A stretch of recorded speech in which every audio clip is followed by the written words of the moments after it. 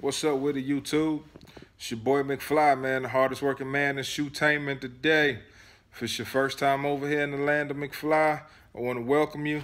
And uh, if you like this video, you can go ahead and like, comment, subscribe, hit that notification bell.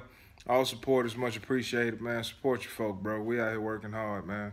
Hardest working man in shoetainment today. But like I was telling everybody on um, Instagram and um, Facebook and whatnot, the hell? we ain't editing or nothing, man. We just going in. That I uh, had a story about these international 12s today, man. Tell you how my day went. So, I woke up, got dressed, you know what I'm saying, threw some little gear on or whatever, to go to the mall to hit DTLR to pick up my 12s. I was super excited. It was like, yeah, man, we're going to get this 12 review out. We're going to get my first mall vlog. You know, we gonna hit North Lake Mall. They got a Jimmy Jazz in there, DTLR, Kids Foot Locker, regular Foot Locker, Journeys, Champs, and a finish line. I was gonna hit them all. You know, don't nobody be hitting Journeys. I was gonna hit them anyway, just cause they got a Dick's in there too. I probably would have hit Dick's up too. All of that. I was so excited about that mall vlog, man. So we got the camera ready or whatever. We hop out the whip and did this banging ass intro, man. Intro was dope in the parking lot.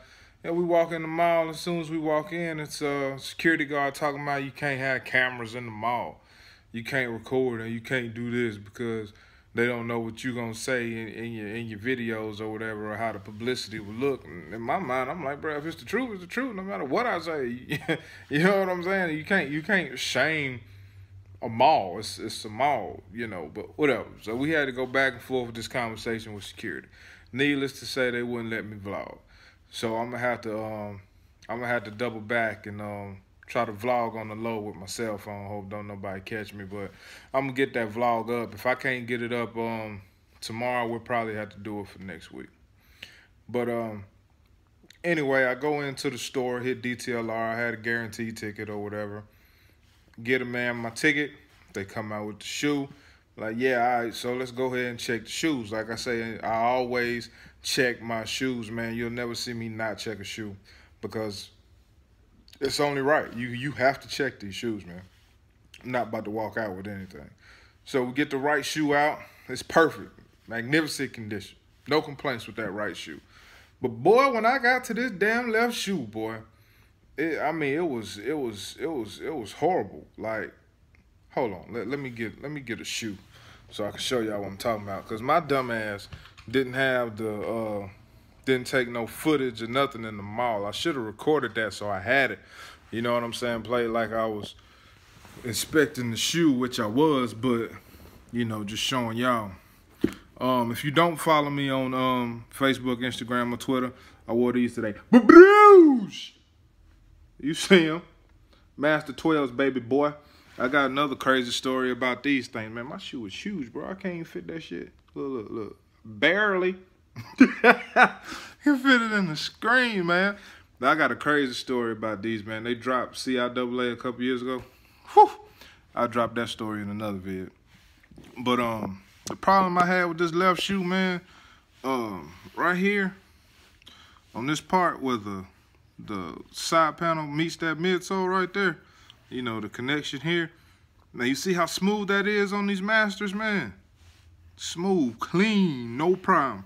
It looked like Freddy Krueger was in the factory, man, making these. It was like zag, zag, zag, zag, zag, zag, zag. It was like Bart Simpson hair on that left shoe, man. It was terrible across here.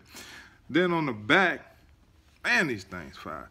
Had a paint chip here because the shoe, you know what I'm saying, is blue. So the blue parts had a had a paint white chip here and a paint white chip on this side.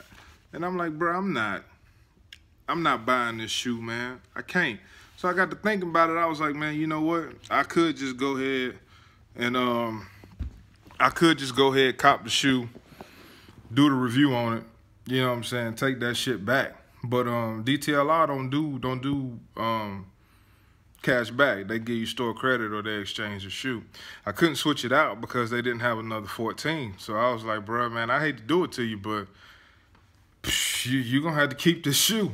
you know what I'm saying? I, you know, hey, I'm not buying, I'm not paying you two fourteen fifty for a flawed shoe. You're gonna give me a mint condition shoe because I paid for a mint condition shoe.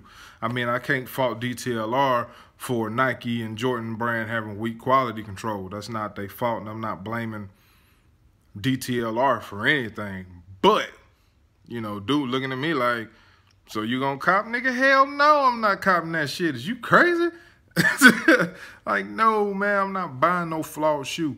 Just like I wouldn't sell a flawed shoe. If you ever get a, uh, if you ever get a shoe from me, a copper shoe from me, it's gonna be a mint condition shoe. I'm not selling nothing with flaws because I'm not buying nothing with flaws. You know, I keep my, my, my customer in the back of my mind and I treat my customers how I want to be treated. You know what I'm saying? It's a lot of people out here selling shoes and they selling them to you for the high with factory flaws and everything. So either way, I left that pair in DTLR. We skated. I was like, yo, we can go up and hit Jimmy Jazz, but Jimmy Jazz did raffles on Wednesday. And um, that Jimmy Jazz didn't get a 14, so I was out of luck on that. Nowhere else in the whole mall got a 14. So I hopped on Nike, checked out, you know what I'm saying, with a 14. So I got the shoe coming. Got the shoe coming in the mail in my personal size. Um, I had a reserve pair from earlier in the week. I looked out for one of the homies on it, so I got that pair coming in on Tuesday. So um, if he'll let me review that pair, I'll go ahead and review it just so I can get the review up for you guys. We'll probably do the mall vlog next week. That first pair will be here Tuesday, and my personal pair will be here Thursday. So that's probably how I'm. Um, that's probably how I'm gonna have to swing that. You know, but the shit sucks, man, because I really want that shoe. But Jordan Brand's got to do something about this quality control, man. This this stuff's out of hand. You can't keep charging people two hundred plus dollars for flawed shoes, man. Um, it, has got to stop, bro. It's it's got to stop. And at the same time, us as consumers, man, we gotta stop buying that shit. Stop buying them flawed pairs of shoes, man. Stop buying them. Check your shoes before you leave the store, bro. So that way, even if it's flawed, you can debate, you know, if if you good with it, if you still want to take that shoe, you know, or whatever. Stop buying these flawed pairs, man. You paying full price for for flawed stuff. That shit don't make sense to me. But that's pretty much it, man. They shut down my whole vlogging. The shoe was flawed. I was like, man, I, psh, I had enough for one day, man. I, I had enough, bro. I done had enough. So either way, the other reviews, the 12 reviews going up next week.